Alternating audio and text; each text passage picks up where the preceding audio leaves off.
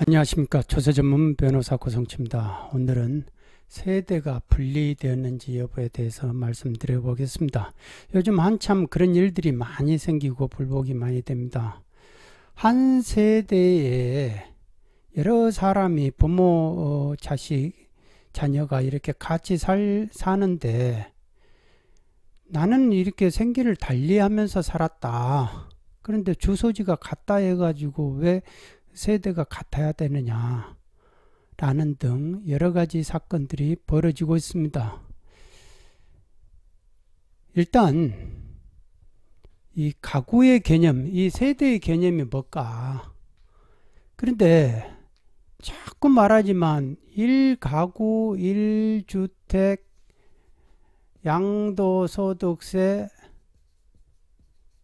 비과세 이런 말 쓴 사람들 있죠. 네? 전문가라고 하는 사람들이 그렇게 써요. 그게 우리나라 지금 세정 현실을 그대로 반영하고 있습니다. 뭐 행안부 그러니까 행안부 공무원으로서 지방세를 담당을 했든지 국세청 공무원으로서 어, 국세를 담당했든지 간에 이 말을 일가구 일주택 양도소득세 비과세라고 이렇게 태연하게 쓰는 사람들이 너무 많아요. 그리고 야 가구하고 세대가 왜 같니? 그러면 어, 같은 개념 아니에요? 거의 같이 쓰는데 뭐 그런 걸 따져요? 이런 식으로 하는 겁니다. 그런 분들은 들은 풍월로 이제 일을 한 거예요. 그러니까 법전을 보지도 않고 법전을 따져 보지도 않고 그냥 일을 한 거예요. 그러니까 세무공무원이 참 편한 직업이라고 생각할 수도 있죠. 왜? 과세하는데 지장이 없어요. 내가 이렇게 과세하겠습니다. 하면 이분이 이거 왜 이렇게 과세하냐? 이거 부실과세 아니냐? 그러면은 아 이게 왜 부실과세입니까? 이렇게 하면은 윗사람들이 한 말 못하는 거예요. 뭐 또 누구한테 봐주고 납세자한테 뭐 먹은 게 있어요? 하면서 이렇게 모함을 해버리면은 꼼짝없이 당하니까 과세하겠습니다. 그러면은 근거가 뭔데 그러면 어 일가구 일주택 양도세 비과세 이거 안, 안 해야 됩니다. 이렇게 해버리면 끝나는 거예요. 그러니까 개념에 대해서 고민을 해본 적이 없어요. 그런 사람들은. 그러니까 법전도 찾아보지도 않고 법 조문이 1호, 1항부터 17항까지 있으면 17항, 1항부터 17항이 왜 그렇게 돼 있는지, 그럼 그게 몇 항에 있는 건지, 그리고 그게 몇 호에 있는 건지, 1호부터 5호까지 있다. 그러면 1호, 1호에도 과목, 나목, 다목이 있는데 거기에 어디에 해당되니? 이런 걸 구분하지 않고 일단 과세하는 거예요. 나는 154조로 그, 그, 그 과세했다. 이렇게 해버리면 법적 조세법률 주니까 법적 근거가 뭡니까? 그러면 154조야. 이렇게 말하는 거죠. 그게 통한다니까요. 잘 통해요. 그게. 공직에서는 그게 잘 통합니다. 그거를 뭐 제재해 본 적이 없으니까 제재를 당해 본 적이 없고 예. 저도 이렇게 법무과장 시절에 과세 근거가 뭡니까 그러면은 법적 근거가 뭡니까 그러면 그거를 그렇게 힘들어 하더라고요. 아니 왜 과장님 와가지고 우리 힘들게 하냐고 이런 말 하는 사람들이 있어요. 어느 날 회식할 때 나이 드신 분이 제 옆에 딱 오셔가지고 술 한 잔 따라주면서 과장님 간부들은요 윗분들은 어, 법리를 따지면 안 됩니다. 그러더라고요. 아니 왜요? 그러니까. 따지면 쫀쫀해져요. 그러더라고요. 아마도 제가 볼 때는 그런 분위기가 없어지진 않을 거예요. 음. 이 과세하는 사람들은 일단 과세하면 되는 거예요. 과세하고 불복하세요. 나는 법대로 했으니까 따지면은 나는 법대로 했으니까 불복하세요. 이런 식으로 나가는 거예요. 법대로 했대 법대로. 예, 그런 사람들이 의외로 많습니다. 어제도 법무과 출신 세무사가 있는데 와 이렇게까지 안 해주는 줄 몰랐다. 세무서 이의신청을 가가지고 의견 인수를 하고 왔는데, 와, 이렇게까지 안 해주려고 막 그렇게 하는 줄 몰랐다. 이제 나와보니까 아시겠죠? 본인의 모습들이, 세무공무원의 모습들이 어땠는지. 그러니까, 그분은 그래도 상당히 구제하려고 노력했던 사람이거든요. 그런데도, 야, 이게 이렇게까지, 음, 그냥 규제 일변대로 그냥 뭐든지 안 하려고 뭐든지 안 하려고 하는 거예요. 일단 내 손을 벗어나라 이거예요. 아이 왜 내 나한테 오냐? 그냥 다음 상급심으로 가세요. 상급심으로 가세요. 뭐 이런 식이죠. 이게 이 불복을 담당하는 모든 사람들은요 공무원들이잖아요. 공무원들의 기본적인 생리가 뭐냐면 내가 불편한 걸 안 해요. 나를 불편하게 하면 역적이 되는 겁니다. 아주 나쁜 사람이 되고요. 예. 그러면서 본인들은 또 교회나 절에 가가지고 좋은 말 듣고 아 이렇게 하죠. 잘 되게 해달라 하고 그리고 뭐든지 나를 좀 기분 나쁘게 해서 내 기분을 상하게 해서 그러면 곤조를 부리는 거예요. 뭐 하나라도 이렇게 어긋내 버리고 그래 너가 한번 저한테도 그랬어요. 예전에 법무과장 시절에 이제 그 우리 과에서도 어떤 패밀리가 있는데 그 오야봉에 해당되는 사람이 있어요. 근데 그 사람을 제가 이제 상당히 이제 제어를 했죠. 어, 그러니까는 그 사람 입장에서 나중에 술 먹고 나한테 그런 말을 하더라고요. 넌 나가면 가만히 안 놔둔다고 그러더라고요. 예. 그게 이제 공무원의 특권이라니까요. 그러니까 그런 착각에서 한 세상을 사는 거예요. 그러다가 이제 정년해가지고 나가봐야 뭐 할 겁니까? 그러니까 결국 그런 사람, 그런 사고를 가진 사람들은 제대로 정년도 못하고 중간에 사고를 당하더라 이거죠. 음. 그러니까 이게 세무 공무원이면은 세법을 알아야 돼요. 법전을 봐야 돼요. 음? 근데 법전 안 봐도 과세할 수 있다니까요. 그냥 드럼풍으로 과세 근거가 뭡니까 그러면 옆에 사람들이 그러던데요. 어. 그게 떳떳하게 말하는 그런 시대가 있었다니까요. 저는 제가 볼 때 지금도 그럴 것 같다라는 생각이 들어요. 그러니까 국세, 국세청 출신이나 뭐 어디 출신들이나 일가구 일주택이라고 이렇게 양도소득세 비과세를 하는 거예요. 이게 왜 이런 말이 안 먹이들이냐면요. 이 가구 개념하고 세대 개념이 분명히 분리가 돼 있어요. 이 가구 개념은요. 지방세법 우리가 이제 령 79조 어? 지방세령 지방세령 79조에 5에 있어요. 5에 있어 가지고 이 상속으로 인한 취득, 상속으로 취득한 경우는 취득세를 부과하지 않는다. 단 1가구 1주택이어야 한다. 이렇게 나와 있어요. 그때 1가구 1주택이란 이렇게 이런 표현이 있는 거거든요. 1가구 예. 1주택이란 이렇게 돼 있어요. 110조 3호 예. 법 110조 3호 예. 감옥 이렇게 돼 있어요. 이런 식으로 가구 개념이 정해져 있어요. 그래가지고 대통령령으로 돼 있는 가구 개념은 주민등록법에 의한 세대별 주민등록표에 기재되어 있는 세대주와 그 가족으로 구성된 일가구 이렇게 돼 있어요. 그리고 가르쳐 놓고 세대주 배우자와 미혼인 30세 미만의 직계비속은 동일한 세대별 주민등록표에 기재되어 있지 아니하더라도 동일한 가구에 속한 것으로 본다. 그러니까 여기서 지방세법에서 가구 개념은 상속으로 인한 주택을 취득을 했을 때 그 취득세는 부과하지 않는다. 왜? 형식적인 취득에 불과하기 때문에 단 그러더라도 1가구 1주택이어야 된다. 예? 이렇게 되는 거예요. 그래서 그 상속에서 취득세 부과하지 않은 1가구 1주택이란 이걸, 이거를 말을 한다. 제가 말씀드린 이걸 말한 거. 소득세법에서 양도소득세는요. 88조의 6호의 양도를 정의를 해놨어요. 그 이전에는 2016년 2016년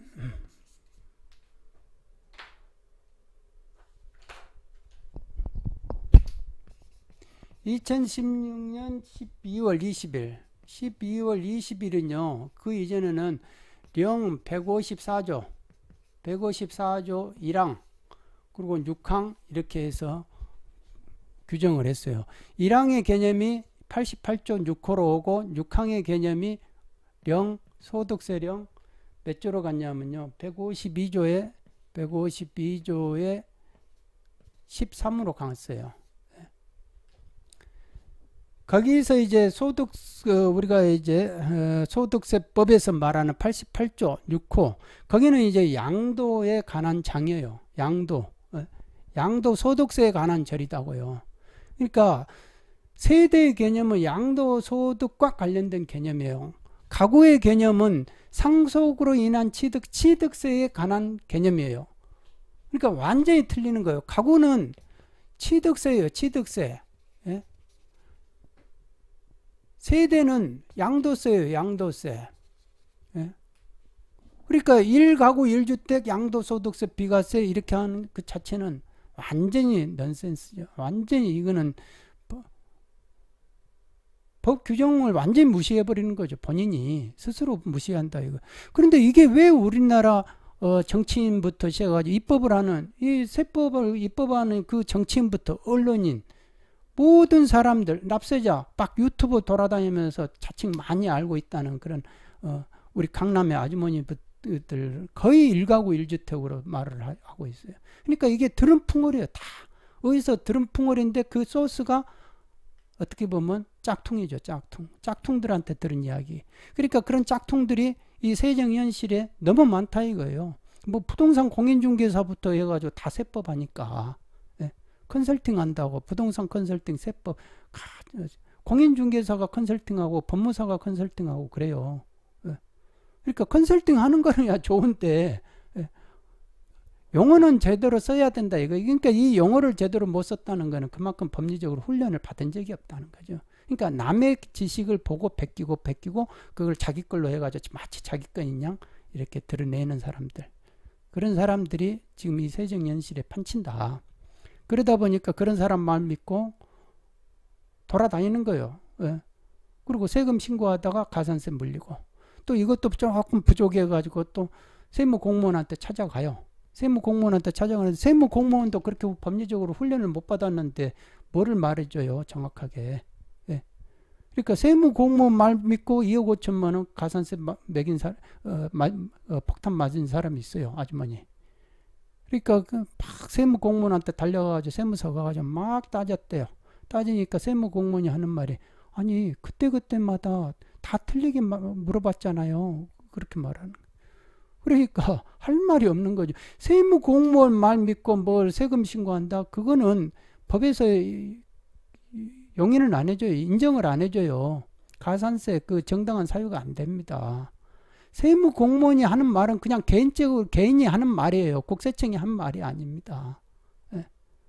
그러니까 지금 이 시중에 돌아다니는 일가구 일주택 양도주택 비과세 논림 뭐 이런 요건 뭐뭐 뭐 이런, 이런 이렇게 말한 사람들 그 말 아무리 들어도 가산세가 만일 나오게 되면 어떠냐 본인의 책임이에요 납세자 책임.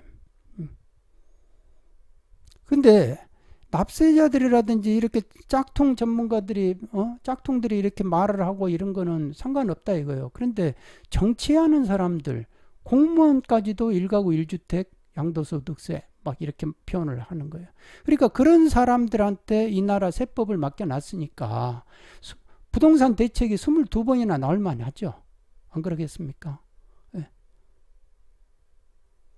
21번째 나온 지가 몇 번째, 며칠이나 됐다고 잉크에 그것도 말리지도 않는데 또 22번째 나오고. 그러니까 이런 식으로 부동산 대책을 하고 이런 식으로 국가 대사의 근간이 된 세금 정책, 부동산 세금 정책을 팬다는 게 이런 사람들이 팬다는 거는 진짜 이거는 이 나라 국민들이 불행한 거예요. 상당히 불행한 국민들입니다. 근데 우리나라 국민들만큼 지금 이렇게 똑똑한 사람들이 없어요. 솔직히. 제가 볼 때는 우리나라에서 제일 똑똑한 사람이 택시기사일지도 몰라요. 왜? 들은 풍월들이 너무 많으니까. 예. 그러니까 나무 유튜브에 돌아다니면서 댓글 달고 막 이렇게 뭐 하는 사람들 있잖아요. 그러니까 나무 글 보고 댓글 달고 마치 어, 점잖은 척 말하면서도 어, 이렇게 한 수 한 수 하는 그게 백돌이들이나 하는 거나 똑같은 거예요. 골프에서 백돌이들이 예?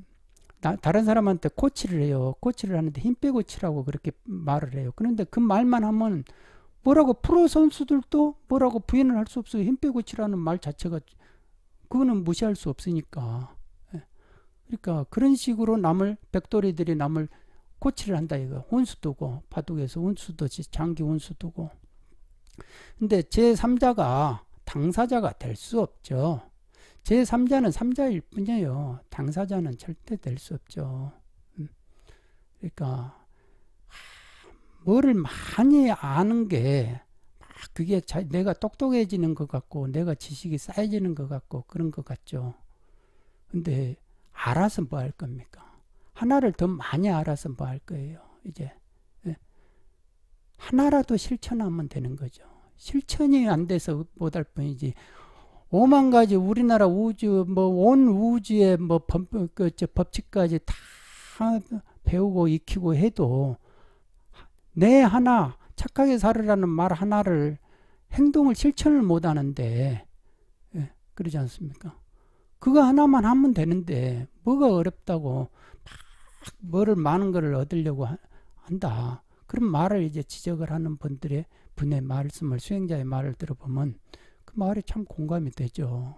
그러니까 아는 게 중요한 게 아니고 실천하는 게 중요하고 세무 공무원도 과세가 중요한 게 아니에요. 과세가 중요한 게 아니고 내가 내 손으로 혹여나 내가 이 세무 공무원이라는 것도 업으로 하는 거 아니에요. 직업으로 하는 거예요. 뭐든지 취미로 하면은 사람들이 사람이 그렇게 세련되고 여유가 있고 얼마나 포근하고 따뜻한 말을 합니까? 그런데 그걸 직업으로 하니까 스트레스인 거. 돈으로 생각하고 한 직급 올라가 나 잘 되기 위해서 하는 거니까 전부 다가 그게 예, 스트레스로 오는 거죠. 스트레스로 오니까 내가 내가 스트레스 안 받기 위해서 일단 과세해 버리고 어, 알아서 불복하라. 그러면 그 업이 업이라는 게 그 업이 얼마나 많이 예? 축적이 되겠습니까? 그 업이 계속 축적이 될 거 아니에요. 업의 자성으로 따따블로 이렇게 될 것 같아요. 예. 그러니까 우리 세무 공무원들부터가 법전을 잘 봐야 된다 이거예요. 법전을 보고 법률을 잘 해석하는 훈련을 받아야 된다. 그러니까 교육원에서도 이런 식으로 훈련을 시켜줘야 되는데 지식을 옮겨주는 그런 어 그러니까 애교 모음집 우리 애교는 이렇지 하면서 과세하기 위한 지식들만 자꾸 주입을 시키는 거예요. 그러니까 나와가지고 국세청 어제 어제까만 해가지고 막 과세하던 사람이 나와가지고 아 이게 왜 이렇게 억울하다고 이렇게 과세하면 부실과세 아니야 본인이 부실과세 해놓고 나와가지고 막 부실과세 따진다 존재가 그렇게 탁 바뀌어지면은 본인도 어안이 펑펑한다 이거죠. 그러니까 평소에 구제했던 사람이 밖에 나와서도 구제할 수 있는 거고 평소에 돈을 썼던 사람이 돈을 모아서도 돈을 쓸 수 있는 거고 평소에 돈 한 푼 안 쓰고 계속 모으기만 하던 사람들이 돈이 모아져도 쓰지를 못한다 이거예요. 60억, 70억이 내가 60억, 70억 있는데 밤잠을 못 자요. 밤잠을 고민해서 그러니까 쓰지도 못하고 이거를 어떻게 할지도 못하고 세금은 내기 싫고 막 이런 식으로 밤잠을 못 잔대요. 그러니까 그게 무슨 의미가 있냐요. 그런 인생이. 그러니까 그런 것 보면 참 답답한 것들이 너무 많아요. 그러니까 이 세금 보다 보면은 별의별 일들도 많고 별 사람들도 많은데 인생살이는 다 엇비슷한 것 같아요. 그래서 1가구 1주택 양도소득세 비과세라는 말은 이제 쓰지 마시라. 이 유튜브 봉, 영상을 본 모든 구독자들은 이제 그런 말을 쓰지 마시고 그런 말을 혹여나 쓰는 사람을 보면 짝퉁으로 생각하시라. 그런 분한테 함부로 불복이라든지 이런 세금 신고라든지 이런 걸 함부로 맡기지 마시라. 왜? 그분들은 법조문을 본 사람이 아니다. 근데 모든 국세청은요, 일이 나중에 감사 지적이라든지 뭐가 이루어지는 거는요, 공직이 돌아가는 거는 전부 다 법조문 보고 그 법리대로 돌아가는 겁니다. 그러니까 그 법조문이 아주 중요하다. 그렇게 생각합니다. 그리고 이게 지금 이제 세대가 어, 세대 개념이 그러니까 우리가 1세대란요. 거주자 몇 그러니까 이제 나라는 사람이 있어요. 예? 그러면 이제 이게를 부가 거주자, 그 다음에 배우자, 거주자 및 배우자. 그러면 처가 있죠. 예? 배우자. 이 배우자 개념을 전제로 해요. 세대는. 일단은. 배우자 빠진 거는요. 안고 빠진 찐빵이에요. 음. 세대는 그런 안고 빠진 찐빵이 아니다 이거예요. 세대는 무조건 배우자를 전제로 한다. 그러니까 배우자가 없어도 되는 경우는 예외를 둬요. 그거는 소득세 아까 제가 말씀드린 소득세령 152조의 13에 있어요. 13에 배우자가 없어도 되는 경우에는 배우자가 사망하거나 이혼한 경우 외에는 인정을 안 한다 이거예요. 예? 그리고 이, 이 이혼도 사실상 이혼 이거는 인정을 안 해요. 사실상 이혼은 인정을 안 하고 법률상 이혼이어야 된다 이거예요. 법률상. 법률상 이혼이더라도 위장 이혼 같이 이혼만 해놓고 같이 사는 경우 생계를 같이 하고 있는 거 그거는 아 이혼으로 안 봐주겠다 이게요. 그러면 같은 세대로 봐버린다 이겁니다. 그러니까 이 세대 개념은 그렇게 보셔야 돼요. 비가세 를 혜택을 보고자 하는 사람들을 위한 개념이 아니에요. 국세청이 어떤 사람인데 그 비과세를 함부로 많이 해주려고 그렇게 법, 에다가 구제 마인드로 팍 해주겠어요. 세법은 다 규제 마인드라고 생각하시면 돼요. 그러니까 비과세는 안 해주자니요. 이거는 안 해줬다면 큰일 날 것 같고 한 주택 가진 사람을 비과세 안 해줘 그러면 나라가 전체가 정권이 무너져야죠. 그러면 어, 나라도 나가가지고 막 뭐 데모하겠네요. 그러니까 해주기는 해줘야 되는데 이거를 적게 해줘야 되겠어. 적게 해줘야 되면 어떻게 됩니까? 1세대 1세대 1주택이잖아요. 예? 1주택. 그러면 세대 개념을 이만큼 했을 때 지금 1주택이 얘기도 있고 1주택이 얘기도 있고 예? 그렇다 이거예요. 그러면 세대 개념이 1주택이 이쪽도 있고 그러면 세대 개념을 이렇게 멀리 넓게 보면은 3주택이 돼버리잖아요. 음. 그러니까 국가 입장에서는 이렇게 하고 싶은 거예요. 근데 이렇게 하고 노골적으로 하지를 못하니까 자칭 뭐, 뭐, 이렇게 개념, 세대의 개념이 뭐, 어쩌고저쩌고 이렇게 법리적으로 마치 현학적인 표현을 하는 거예요. 그러니까 개념이 심플하지 못하고 복잡한 거는요, 다 어떤 사심이 있는 거예요. 이 부동산 대책도 뭔가가 바꿔 어긋나지고 뭐 어긋나지고 있잖아요. 심플하지 못한 거는 다 사심이 있는 거예요. 심플하지 못한 거는. 예? 거짓말도 전략 전술이다고 하는 사람들 입장에서는 심플할 수가 없어요. 예? 심플할 수가 없어요. 왜? 안에 있는 거를 속여야 되는데 예? 거짓말을 속여야 되잖아요. 그러니까 쇼를 할 수밖에 없죠. 거품을 많이 부풀릴 수밖에 없는 거예요. 그러니까 말도 현학적으로 나와. 개념이 복잡해져요. 그러니까 그거를 제가 설명을 하는 겁니다. 지금 복잡한 거를 설명할 수밖에 없는 그 개념들을 쓴다니까 세대 개념이. 예. 그러니까 가구 개념도 그리고 가구 개념도 세대 개념하고 어, 어? 그러니까 뭐 어디는 가구 개념은 뭐 혈연 관계가 없는 그야말로 한 집안에서 같이 사는 거를 말하고 뭐 세대는 혈연 관계다 막 이런 식으로 표현하는데 지금 지방세법을 이렇게 보더라도요 가로쳐 놓고 동거인을 제외한다 이렇게 돼 있어요. 가구 개념이.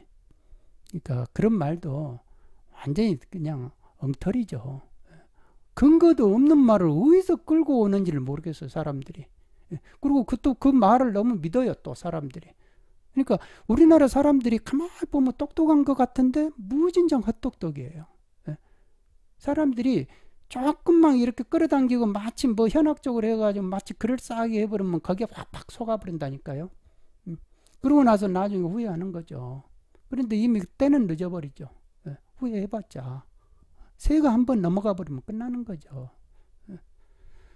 그러니까 이런 식으로 세대를 자꾸 넓히려고 한다 이거예요. 그러니까 배우자를 전제로 해가지고 넓혀버리는 거예요. 그러면 이 사람도 1주택이 있으면 2주택이 돼버리잖아요. 아, 이것 가지고는 좀 부족하겠어. 그러니까 직계 비속들, 직계 비속도 세대로 만들어버리는 거예요. 그러니까 이 사람도 만일 1주택 있으면 3주택이 돼버리는 거예요. 그러니까 비과세 안 해줘 버리는 되는 거잖아요. 그리고 또 이쪽에서 이제 어, 배우자의 직계비속이 있을 거 아니에요. 여기 이제 장모님이 있을 거 아니에요. 장모님하고 같이 살, 사는 것도 세대예요. 그러니까 이쪽도 1세대 있으면 4주택이 돼버리는 거고 어, 이쪽에 또 배우자가 있을 거 아니에요. 예? 배우자가 있으면 이쪽에 처도 있으면 어떻게 됩니까? 이것도 1주택이 있으면 5주택이 돼버리는 거고 사정없이 넓혀 나가는 거예요 그냥 음. 이쪽도 그러고 직계 비속도 그러고 예. 그리고 이쪽에 이제 형제 자매들 있죠 이 애기의 이제 애기도 이제 또 이제 조가 할아버지가 있고 조부가 있고 조모가 있잖아요. 예? 조모가 있으면은 이렇게 있으면은 이쪽에 이제 형제들이 있을 거 아닙니까? 형제들이 예? 이 사람들도 같이 살면 세대야 다 예? 이런 식으로 다 넓혀놔버린 거예요. 가족의 개념을 다 어. 가족의 개념이요. 직계 좀비 속만이 아니에요. 형제 자매까지도 가족이라고 이렇게 표현을 해놨어요. 음. 그러니까 정확하게 그러니까 이 사람들을 세대의 전제로 해요. 이게 빼대예요. 큰 우리 우리 몸으로 말하면 척추예요. 척추. 이 척추에 붙어 있는 이제 손발들이 뭐냐 하면 그들과 애기 이들과 같은 주소 그소에서 생계를 같이 하는 자. 예? 자, 같이 하는 자예요. 그 같이 하는 자가 뭐 누구냐? 거주자 및 그 배우자의 직계 좀비소 또그 배우자를 포함한다. 및 형제 자매를 말한다. 이거예요. 그리고 같은 주소 거소에서 같이 살아요. 밥 먹고 같이 밥 먹고. 그런데 자식이 근무상으로 저기 세종시에 이제 파견 나가 있어요. 그러더라도 같은 세대로 보겠다. 이런 식으로 또 넓히는, 넓혀야 되잖아요. 국가 입장에서는. 그리고 또 일시적으로 요양하기 위해서 병이 나가지고 어디 요양원에 가 있단 말이에요. 그 사람도 그냥 같은 세대예요. 예, 어딜 가더라도. 그리고 내가 어디 대학교 지방으로 대학교 가가지고 대학교 가, 다니더라도 그 사람도 그 세대로 보는 거예요. 그냥. 그러니까 국가 입장에서는 티 안 나게 넓히는 거예요. 세대 개념을. 음. 그래야 비과세 안 해주잖아요. 그러니까 이렇게 생각하시면 돼요. 그냥 세대 개념이 납세자인 나를 비과세 해 주기 위해서 만든 개념이 아니다 이거예요. 1주택을 비과세는 해 주기는 해 줘야 되는데 비과세는 안 해주고 싶어. 안 해주고 싶으니까 그 마음을 속마음을 들키지 않고 적절한 선에서 현학적으로 표현을 해놨다 이거예요. 결론적으로 보면 안 해주겠다는 말이에요. 결국은 이렇게 보면은.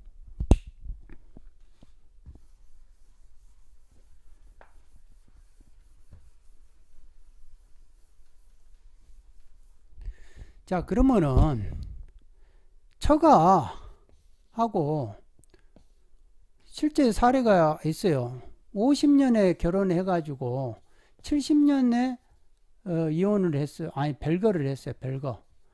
별거를 해가지고 2004년에 어, 좀 뭐죠 주택을 팔았어요. 음. 처가 처가 팔았어요. 별거 해가지고 그러니까 24년을 어떻게 됩니까? 30년, 34년을 별거 했잖아요. 근데 이혼을 못한 이유는 이제 자식들 때문에 이혼을 못했다고 그래요.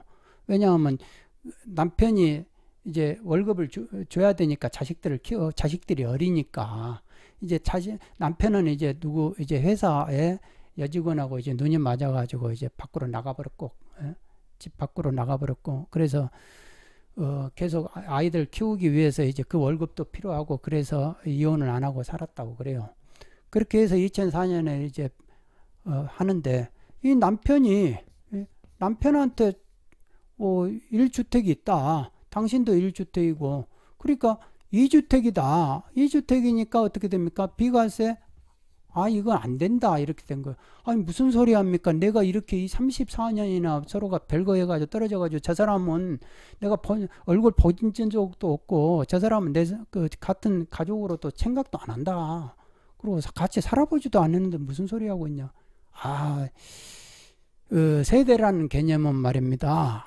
에? 예? 같이 살고 안 살고 그런 거 따지지 않아요. 그냥 배우자라는 그 개념으로 세대를 보는 겁니다. 아니 저렇게 원수 같은 놈을 내가 안 모른다니까 나는 그 원수 같은 사람하고 살아본 적이 없다니까. 그러니까 살고 안 살고 그러면 차라리 이혼을 하셨다면 우리가 어, 이 사람을 딱 제외를 시켜주겠는데 세대에서 아니다. 사실상 이혼은 인정을 안 해준다. 아니 세법이 실질과세 원칙이라면서요. 그러니까 나 실질을 인정을 해주세요. 이혼에 완전히 이거는 이혼이라고 봐야 되는 거 아닙니까? 그런데 아 그거는 안 됩니다. 그냥 법률 혼이 이혼을 했을 경우에만 가능한 겁니다. 이렇게 돼버린 거예요. 그러니까 이 경우는 비과세가 안 된 거예요. 그러니까 아까도 말씀했지만 그래가지고 이장이혼을 해가지고 같이 살고 이장이혼하고 같이 살고 있으면 그 사람들은 어떻게 됩니까?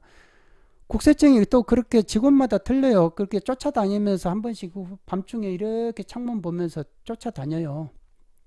이렇게 보고 또 검찰에서 요즘 체납처분 멘탈죄로 기소하는 검사들이 있어요. 나는 그 사람들이 제정신으로 하는 건지 그거는 잘 모르겠어요. 본인이 검사니까 공명심에 막 정의심을 가지고 해야 되겠죠.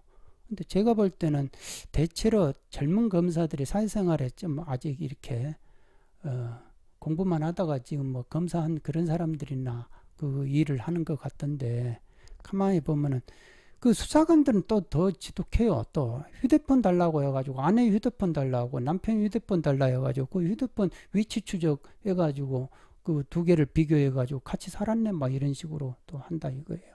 예. 그러니까 수사관이 휴대폰 달라 하면 주지 마세요. 예. 그 영장이 있어야 가지고 가지.